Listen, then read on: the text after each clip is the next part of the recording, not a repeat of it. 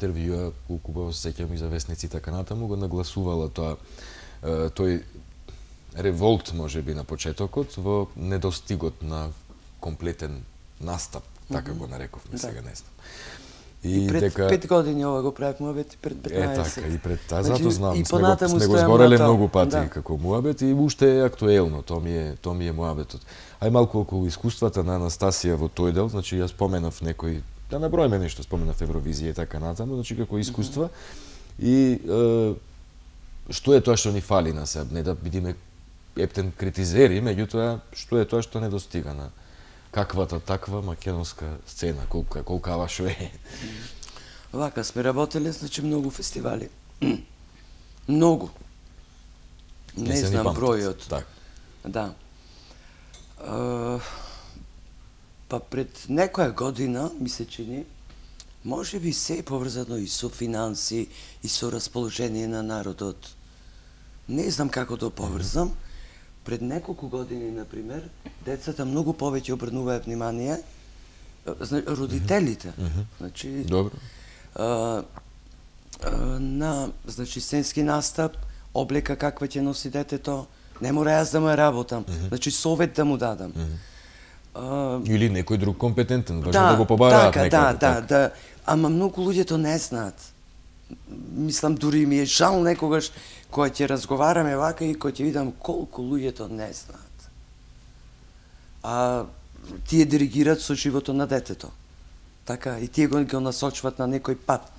И јас велам, ако не знаеш, најдобро е да прашаш. Така, и јас ако не знам, ќе те прашам Важно тебе. Важно е прво да знаеш дека не знаеш, да, тоа да, да го знаеш, заклучиш. Да, дека не знаеш, а па страшно е ако мислиш дека знаеш, а тоа е Бегле, Мислам, тој имаме не знае, видено, да, случаи, па тоа е страшно луѓе што се случува на сцена.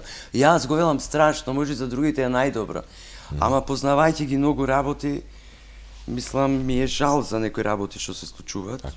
Во случајот кога посебно кога се работи за талентирани деца со потенцијал за, за добри да, песни да, кои да, што да. поминуваат. И добра песна ако има и то бара све комплетен настап, посебно за некои добри песни. Душата не боли ако не излези секако што треба на пример.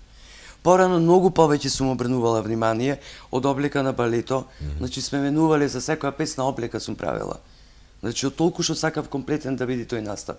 Со пејач комплет, така облека, па, па балет, па така натаму. Ама сега како што идат вака годините, две-три години, некако и организаторите гледам Па добро е, вика. Па добро, нека види, мислам. Не можам да се борам, знаеш, со мој со мој труд, така. да, со мој труд, со мои финанси, со мои финанси правиме муавет, не финансирано. И так. Да со сила може некому да наш, да наштетиме, ама да му поможиме со сила не не бива. Да. И тоа искуства други, не знам, сме работели значи многу фестивали, а, сме спремале пе, пејачи се сме сме спремале и за други фестивали, големи, Стефи работела, за движење на сцена. Сме учеле како треба да изгледат на сцена. Така, се спомна Евровизија, да. Mm -hmm. Па тоа е обично, обично тука се прават најмногу тие. во... Најмногу се прават тие муабети кога станува збор за Евровизија, независно дали е детската или да. кога се представува земјата некаде и кога треба нели тимски да се организирано да се делува да. и тој настап да се да спие, што би се рекло, да биде пресметан математички во секоја ситница, во да, секој детал. сум правила еве на Денис, пак ќе спомнам тоа веќе давно. Ако, ако, ако, е. Ама ете, да, тој модел и премногу, премногу сум задоволна од тоа што излезе таму и беше прашуван од кај моделот и така. Се знае дека е карактеристичен, значи и таму нешто карактеристично било мое нешто. Mm -hmm сме правили на овие други мали деца за избори на Евровизија, во тие кругови, mm -hmm. сум правила многу модели. Mm -hmm. И така, едноставно, моите модели се препознатливи. Дали се во каков и да се... Дали се прифатени или прифатени, така, да. Така, дела. 20% па нека се критика е добре дојдена. Делат од другите, така? Добро, да, во, и, во право ова е да. реално, 20% да се Да, и тоа е презадоволни сме.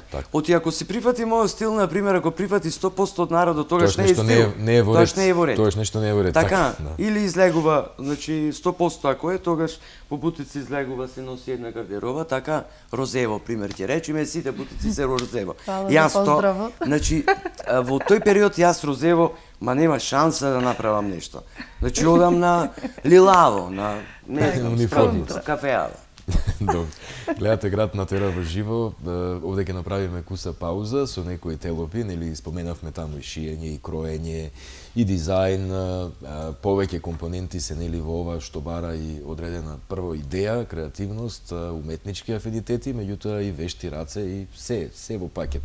Што ми рекоа едни уметници пред некој издание на град, дека уметноста во цела приказна е најлесна, а најтешката е она што го нарекуваат амалска работа, а што исто така мора да се да се заврши. По кусата пауза се враќаме со разговорот. Модна писта тесна, посебно осветлена патека, најчесто подигната на возвишена платформа, низ која со посебен специфичен начин на одење се шетаат модели кои пред публиката од двете страни презентираат облека. Македонската верзија на зборот е поврзана со изгледот на долгите и тесни писти на аеродромите, од кои полетуваат авиони.